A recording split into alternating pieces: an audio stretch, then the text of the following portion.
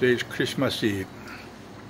We have so many takeout order right now, so my wife, uh, she's so busy. And we open at 3 to 9 every day, not every day, except uh, Sunday and Monday. We take a rest for two days a week. And at the outside, uh, we have a very special patio. This is my boat. It was my boat. It's a 30 foot, 30 foot long, and I built.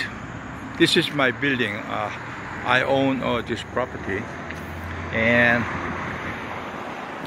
uh, this one, uh, lighthouse, and the boat upside down boat patio everything I built myself. Uh, I was a boat builder. So that's why uh, this is this is uh, there's a fence uh, there's my property boundary. And uh, there's my camper. And there's another 15 feet day sailor and also I have a very beautiful canoe. Uh, this is a, uh, not a canoe. Uh, it's between the canoe and kayak. So